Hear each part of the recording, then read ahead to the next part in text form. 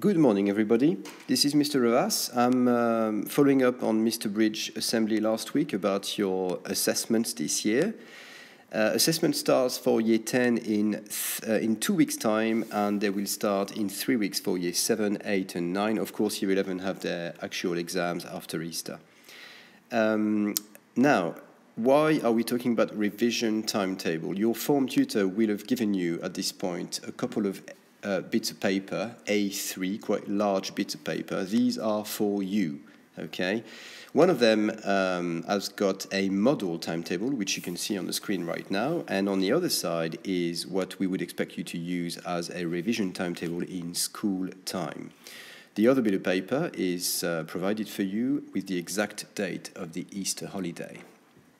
Okay, so how do we organize your revision and why do we want a timetable? Uh, a timetable is very useful. It will uh, take you a little time to, to plan, to, to, to, uh, to, to, to, put together, which is why we want to start maybe today with your form tutor in form time. Um, but once you've done it, all you have to do is to follow it, okay? And that is it. So it's about discipline, it's about organization, and then it's about hard work, okay?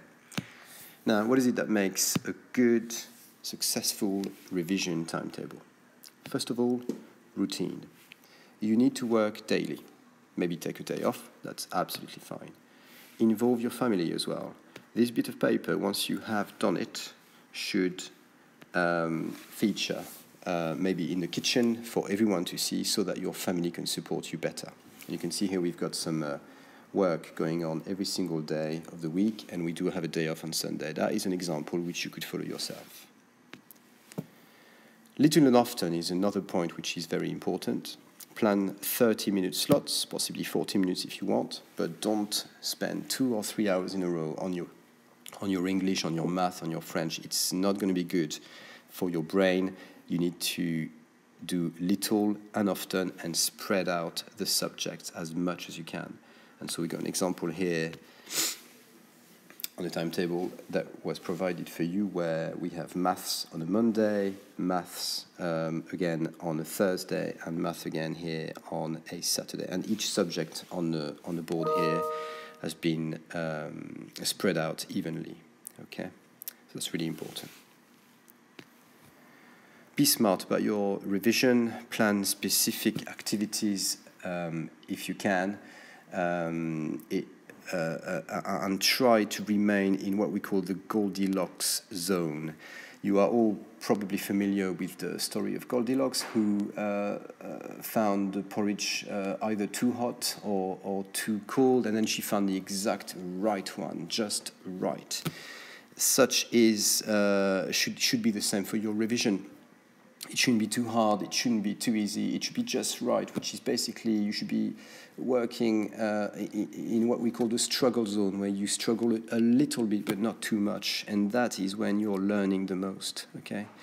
And uh, try to have a variety of uh, activities as well to support to support your revision.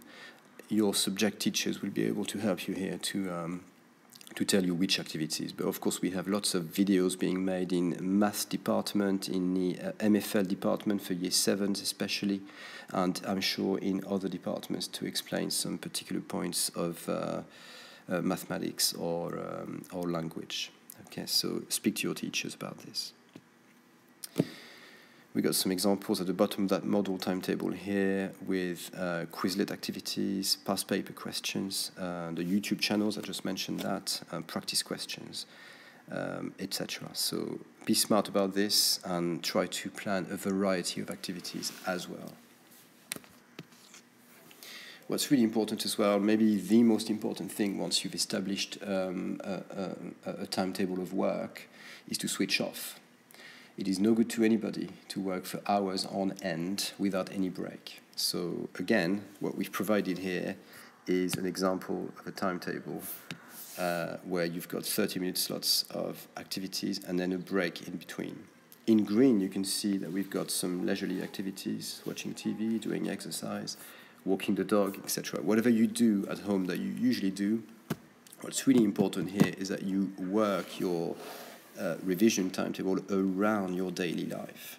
In that way, you'll be able to keep doing everything that you normally do and work in a measured way, little and often, and switch off. Really important to spend time with your family, to switch off and have fun, whatever rocks your boat, whether it's playing your instrument, doing sports, going outside, walking the dog, playing video games. It's really important to keep that in mind and uh, do plenty of uh, physical activities as well if you are into this. Needless to say, a good night's sleep is makes the whole difference as well. Now, we've provided for you the other timetable for uh, the Easter holiday. Obviously, you don't have the school day there, uh, but this one is there for you to use as well. Now, some of you might think, I don't want to do that on paper, I think it's much better online. Uh, you might be right. Maybe it's better for you online. You can use a computer uh, to set up a Google Calendar and do exactly the same thing. What we want is for people to be organized, is to, for people to organize their revisions, okay? Whether it's online or on paper, whatever rocks your boat here as well. Okay. The advantage of an online calendar is that once you've set it up online, maybe on a computer, because it's a bit easier, it uh, synchronizes with your phone, and you can put alerts. And then you know, because you, lots of you have their phone on them on them all the time. Uh, that can be a very good way for you to be uh, on track at all times. Okay, so consider that.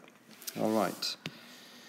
So, um, it's your turn now. You've got uh, hopefully about 10 minutes left in this uh, form time to uh, get started on this. I'd like all tutors to uh, encourage students to uh, uh, start their next day of revision, which could be tomorrow, possibly, especially for year 10, because you have an exam in two weeks.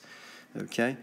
And uh, start seeing uh, uh, yeah, uh, how you can organize that. That would be great. And again, you can use, uh, when you're at home or later on, you can use your phone possibly to organize that on e, uh, an e-calendar on Google as well. Okay. Thank you very much, and good luck, everyone. You'll be great. Please try to do this. Thank you very much.